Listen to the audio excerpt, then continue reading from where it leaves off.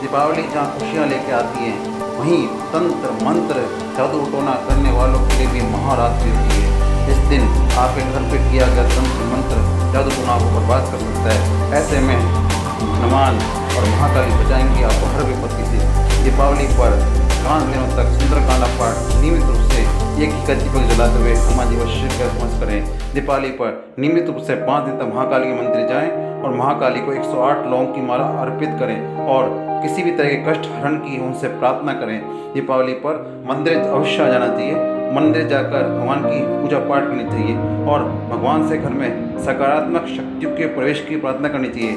दीपावली पर आप एक गरीब परिवार की सहायता अवश्य करें। गरीब परिवार में फल, वस्त्र, मिठाइयाँ, पटाखों वितरण करें। गरीब व्यक्ति भोजन कराएँ जितना आप इन दिनों दुखी लोगों की सेवा करेंगे, उतना ही आपको अपने साथ